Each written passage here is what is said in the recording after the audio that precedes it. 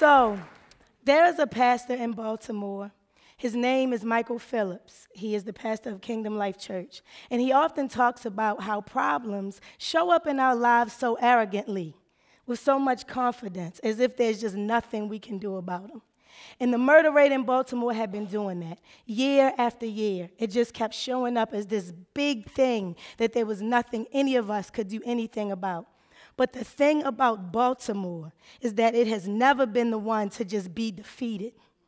So, the story about the Baltimore ceasefire is that Baltimore looked the murder rate in the eye and said, What you're not going to do is snatch our greatness.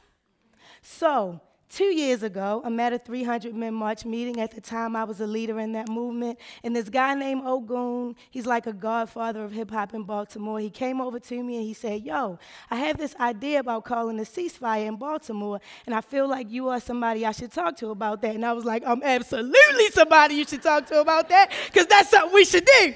And so, we played phone tag and meeting tag, and two years went by and we never really sat down and talked about it. So now we're in May of 2017.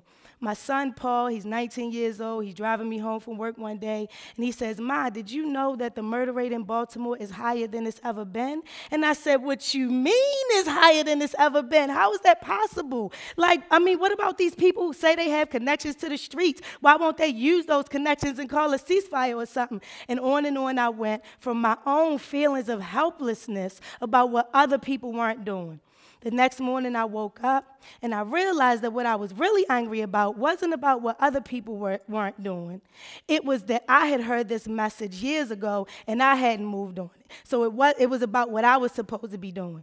So I got up and I'm going, okay, if we could just have three days where everybody in the city was committing, nobody is going to kill anybody and we're going to celebrate life instead. When can we do that? So it's May. I look at my calendar. I'm like, all right, I got some free time the first weekend in August. we're good. we'll do it August 4th through August 6th, right? So I'm all excited. I start driving to work, and the more I drive, the scarier I get. Right? And so I start going, never mind. I won't say this thing out loud. Nobody will ever know I was thinking it if I don't say it. But it wouldn't let me go because God loves to show up as us. And because I look broken and I'm always called to stand in my wholeness, there was a call on my life to say this thing out loud. And because my city looks broken and is always yearning to show up in its wholeness, there were hearts that morning calling all through my chest that people around this city wanted to do something great together. And people who had already been killed in my city were calling to me, up through my gut, in my chest, as a knot in my throat. Yo, E, you cannot just let us be dead in vain when you know how to say this thing out loud. And I responded to them with my fear. But somebody might get killed anyway that weekend. And that was the moment where I had to accept that maybe while we're out spreading this message, hey, nobody's going to kill anybody, we're going to celebrate life, maybe somebody will be plotting to take a life right then and there. But now they would have a rumbling in their spirit and so I knew it was time for my city to have a collective rumbling in our spirits. So I got on the phone. I got around the Ogun and I said, Yo, you said you wanted to do a ceasefire? What is it? I'm ready. So he said, You know, when I hear about like the Israelis and Palestinians at war, I'm like, Oh, that's too bad. They should stop that. But when I hear the word ceasefire, that makes me pause and stop and really research what's going on. And he wanted Baltimore to get that same kind of attention from the outside, but introspection from the inside about what was going on with us. And we talked about how it couldn't belong to one person, not one person or one organization should call a ceasefire. The whole city had to own it and do it together. So we had our first meeting in May. About 12 or 15 people show up. And this is where it gets named the Baltimore ceasefire because you know what that means when you hear the word ceasefire. Just don't kill nobody. And this is where the Baltimore Peace Challenge was born because it's not just about not being violent, it is about being purposefully peaceful. What is going on in your thoughts? What kind of petty things are you not saying out of your mouth? How are you responding in your behaviors to conflict? I grabbed up five people who I trusted, and the six of us became the organizing squad. So let's give them props real quick. On the count of three, I want you to yell squad. One, two, three, squad. And it's Shallah's birthday. Happy birthday, Shallah's right? And so we put out a press release, and the media told us this is not really a story yet. We will get with you on August 7th to see how the ceasefire went. So we went, oh, word? oh, all right then. And Baltimore got to work. And not only did people send money to the PayPal account so we could buy flyers and posters, people came and got the flyers and posters, and they put them all around the city. And people were having conversations with each other. What kind of resources do you need? What are you going through? What has happened to you because we understand the root causes of violence in this country. People who said it wouldn't work still ended their sentence with, but please keep trying. Somebody needs to do something anyway. Teenagers who would tell us about the stuff they were doing in the streets all day asked, but can I have a poster to put it on my wall at night so I can see it on my way to bed? Gangsters were calling saying, I can tell you where violence is not going to come from because we're committing to the peace challenge. And they kept their word. When people said, oh, it's not going to work because somebody's going to kill over West or somebody's going to kill over East, we said that doesn't matter. It's about self determination, yo. You telling me you can't keep this three or six block radius safe? And they would say, oh, don't get it twisted. It's going to stay safe around here. And they kept their promise.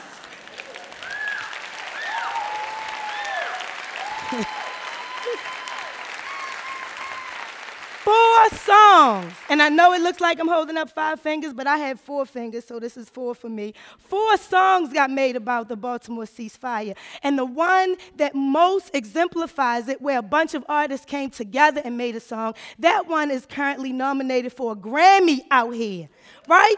And so now what was happening was from the most beautiful corners of crack houses to the grimiest corners of politicians' offices, everybody.